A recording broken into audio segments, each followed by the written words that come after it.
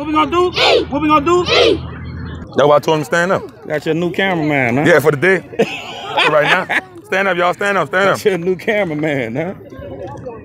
That might be Hit your that job. thing, itchy. It's on.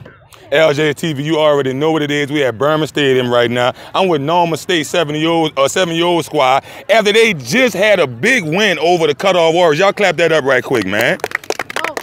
I got Coach Love and I got Coach Ace. What Coach Ace said? Get in here, Coach.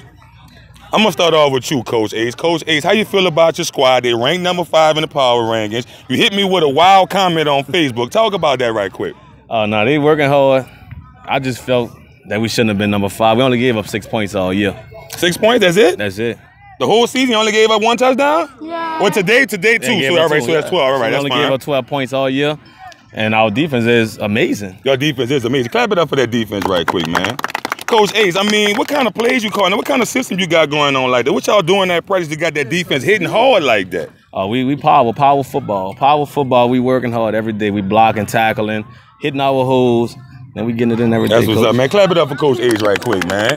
I got Coach Love right here. Coach Love, I came to the park. I remember you teaching them boys straight up how to tackle. I saw that with my own two eyes. Talk about how it feel to be a coach right every day, man, just teaching these babies like that. Oh man, I love this. It's- It's good to give back to the community. Right. I mean, I did it.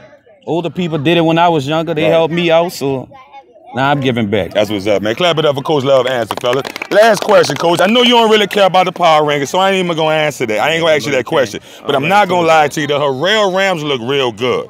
And y'all lost in them 6 0 It was a dog fight. How you feel about maybe meeting up with them again in the playoffs and trying to get to that championship game? Well, we don't meet them again in the playoff. We meet them next Saturday. Next Saturday? Yeah. Next Saturday? Next Harrell versus Saturday. Norman? Yeah. Oh man, where that game gonna be at? Yeah. It ain't gonna be. I'm gonna definitely be out here, man. LJ TV, Coach Love, Coach Ace Bowl, that seven, eight year old squad, Norman State. They ranked number five. They real deal, man. Y'all look at the camera at and the tell camera. Coach Itchy one love. Put the L up and tell him one love. One love. Tell the new cameraman one love.